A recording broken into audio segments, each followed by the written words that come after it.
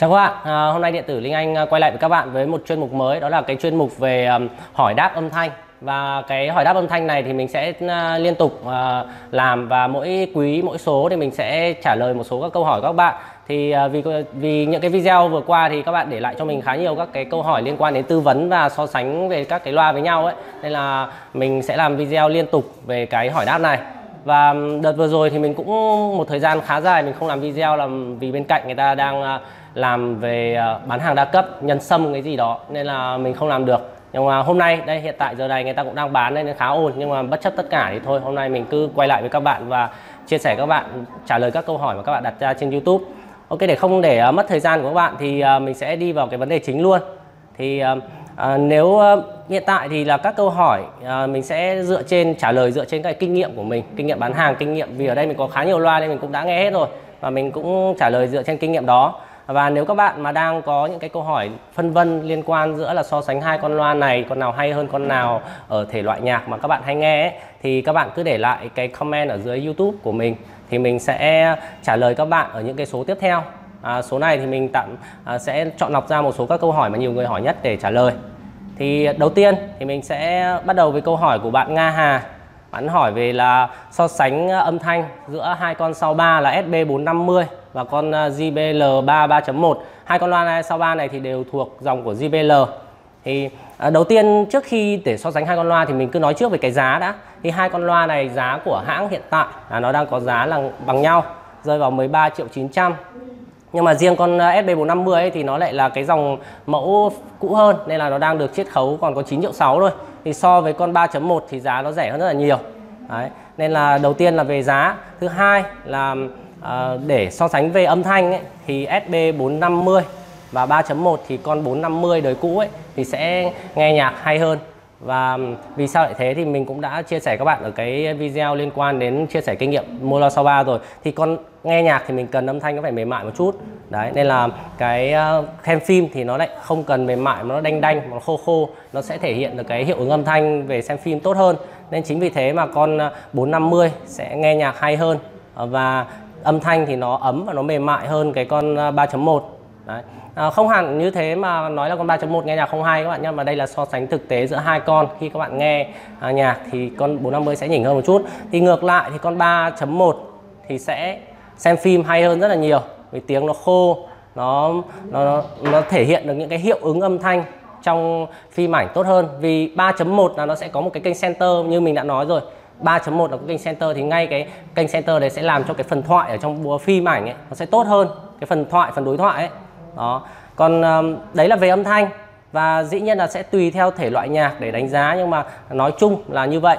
Và về về thiết kế, tiếp đến là về thiết kế thì rõ ràng các bạn nhìn hai con này thì như mình là mình nghiêng hẳn với con 3.1 vì thiết kế của nó khá là đẹp à, nó mỏng. Nên là khi các bạn mà để ở dưới cái chân tivi ví dụ tivi bạn không treo lên tường nhá bạn để chân thì con 3.1 để phía trước cái loa sẽ không bị che đi cái loa. À không không để trước tivi không bị che đi cái cái tivi. Và thiết kế của nó là bằng lưới thép nguyên từ trên xuống dưới nên là nó rất là đẹp. Ngoài ra nó còn có một cái màn hình led hiển thị à, để hiển thị cái mức bass chest và tất cả các thông tin chi tiết khi mà mình điều khiển. Nên đấy cũng là một cái đẹp về cả về thiết kế lẫn uh, điều khiển thì các bạn đều thấy nó tiện tiện lợi hơn và đẹp hơn đấy thì uh, dựa trên à, ba uh, cái yếu tố mình uh, vừa đưa ra như vậy thì các bạn chắc cũng sẽ dễ để lựa chọn cho mình một con loa À, để SB450 hay 3.1 làm loa TV trong cái phòng khách của mình. Ok và tiếp đến là với câu hỏi thứ hai thì bạn có hỏi là mình có con Sony V44 nghe nhạc thì không có vấn đề gì chê kể cả đấu với các loại loa kéo khác nhưng mình hơi tiếc là hát karaoke âm thanh tệ quá hát không được gì hết. Mà sao con này nghe bạn thử âm thanh nghe cũng hay là sao nhờ? À, mình cũng là Sony cũng là Sony hay là cái phần mềm Fiesta gì đó hỗ trợ nên mới được như vậy? À, nếu mình tải phần mềm đó về thì có hỗ trợ được cho V440 không?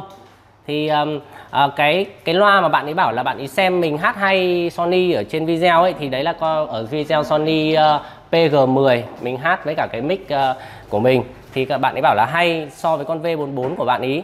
Thì cái này ờ, mình sẽ trả lời câu hỏi như sau. Thì đầu tiên là về vấn đề, về phần mềm Fiesta.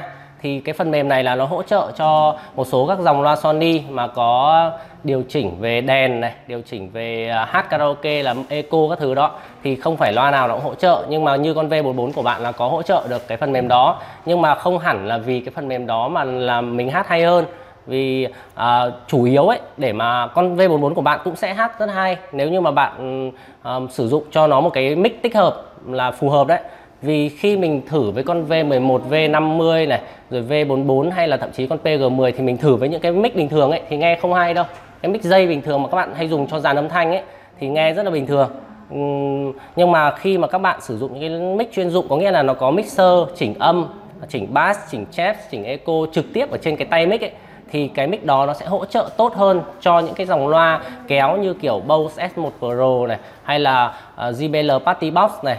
Nhiều rất nhiều bạn đang sử dụng hai con đó mà lại uh, nói về vấn đề là mình cắm mic của mình vào hát rất là dở không phải là cái loa nó hát dở mà do cái mic các bạn cắm vào là nó không tương thích với cái loa đó. Và mic đó chủ yếu là các bạn khi các bạn cắm vào hoặc ừ, là cái mic các bạn dùng là dùng cho dàn âm thanh. Các bạn lưu ý nhé dùng cho dàn âm thanh chứ còn dùng cho loa kéo nó lại nên sử dụng những cái mic như mình vừa nói là có mixer chỉnh âm trên tay và À, chính vì thế nên ở trong video mình có nói là à, sau khi mình chọn rất là nhiều các cái mic để thử thì con mic của mình là con mic à, A515 đó cái mic à, 515 mic 513 đó à, thì sử dụng với cái loa kéo hầu hết các loại loa kéo thì hát hay hơn rất là nhiều vì nó có mixer chỉnh âm và nó đã chỉnh bên trong rồi.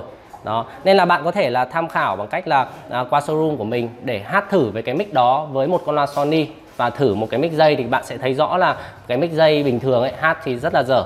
Đấy, nhưng với cái mic à, đã qua chỉnh âm thì nó hát hay hơn. Ok thì để uh, tiếp tục là câu hỏi thứ ba thì có một bạn, anh Nguyễn, hỏi mình là review loa Marshall Stanmore 1 với 2 và Acton 1 và Acton 2 thì thứ nhất là mình sẽ bắt đầu với cái thiết kế của nó.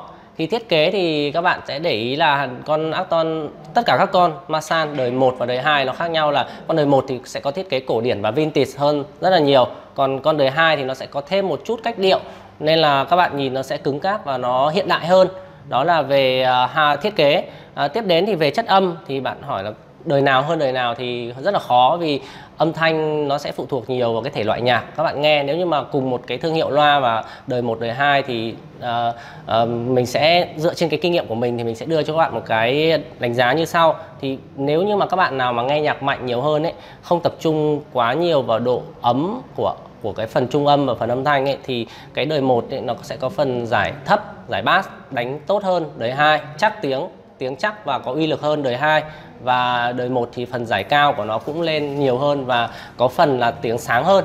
Đấy là cái mà khi các bạn nghe so sánh đời 1 đời 2 còn đời 2 thì nó lại thay đổi một chút là à, về cái phần trung âm ấy thì nó sẽ ấm áp và nó à, mềm mại hơn ở cái phần trung âm một chút.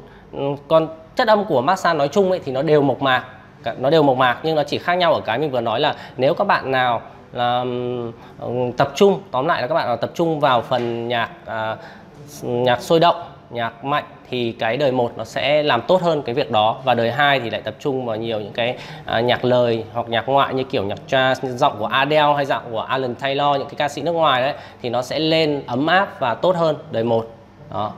Ok, và quay sang cái câu hỏi thứ tư là của bạn Đại Nguyễn. Bạn có hỏi là em đang phân vân giữa loa XB31 và loa JBL Chắc 3. XB31 là loa của Sony thì các bạn biết rồi, và con JBL Chắc 3 thì bạn hỏi là con nào thì nghe ổn hơn ạ? À? Thì mình xin trả lời luôn đây. Trước mắt mình có hai con đây. Thì à, nếu các bạn nghe thực tế so sánh thì hai con này, con JBL Chắc 3 nghe hay hơn rõ ràng, vì tiếng của nó sáng hơn là con XB31. Tiếng XB31 thì bí và tối đó là những cái nhược điểm của con à, đời 31 này và chính vì thế nên là con XB32 mà hãng vừa giới thiệu này này, chính là cái con đời mới đã khắc phục được cái nhược điểm đó của cái con XB31 này. Và mình đánh giá khá cao về âm thanh của con 32 này. Con 32 này nếu mà các bạn đem ra mà so sánh với con ờ, chắc 3 này này, thì con XB32 này sẽ có âm thanh vượt trội hơn cả ba giải âm luôn. Và con này thì sẽ phải so sánh với những con kiểu như chắc 4 đời mới này. Đó và đó là phần tóm lại là con à, giữa con XB31 và con chắc 3 của hai thương hiệu Sony và JBL thì JBL chắc 3 sẽ hay hơn Sony XB31 các bạn nhé. Ok và cái câu hỏi cuối cùng của cái à, giải đáp âm thanh số thứ nhất ngày hôm nay là đến từ à, bạn Bùi Minh Hoàng. Bạn có hỏi là mình muốn nghe nhạc mạnh thì nên mua loa chắc 4 hay loa XB32 của Sony. à, và có con loa nào cùng tầm giá này mà hay hơn không thì mình xin trả lời cái vế đầu tiên cái câu hỏi đầu tiên của bạn là À, uh, XB32 và chắc 4 thì Sony XB32 nếu bạn nghe nhạc mạnh thì hay hơn các bạn nhé vì bass nó chắc hơn. Và mình thấy là cái XB32 nó có cải tiến rất là nhiều so với con XB31 cũ. Và về thứ hai bạn có hỏi là trong cái tầm giá đó thì có con nào hay hơn con XB32 của bạn không? À, bạn đang quan tâm đó thì mình sẽ có là con Onyx Studio 4 và con Extreme 1 đó là hai con cùng phân khúc giá đó nhưng lại có âm thanh mà nghe nhạc mạnh hay hơn hẳn so với à, con à, Shark 4 hay là con Sony B32 này. Nếu bạn không quá quan tâm đến kích thước thì bạn à, có thể cân nhắc con Onyx Studio 4 là một cái lựa chọn rất là hợp lý trong phân khúc giá đó nếu các bạn nghe nhạc mạnh. Thì ok à, như vậy là à, mình vừa giải đáp cái câu hỏi cuối cùng của cái số à, âm thanh giải đáp âm thanh số thứ nhất này. Thì mong rằng tất cả các câu trả lời của mình sẽ giải đáp được các cái thắc mắc của các bạn. À, và các bạn nhớ đăng ký kênh subscribe thì mình sẽ cố gắng và comment ở phía dưới à, cái YouTube này. Ờ, thì mình sẽ cố gắng là giải đáp các cái câu hỏi đó trong thời gian sớm nhất ở những cái số giải đáp âm thanh tiếp theo. Chào các bạn và hẹn gặp lại.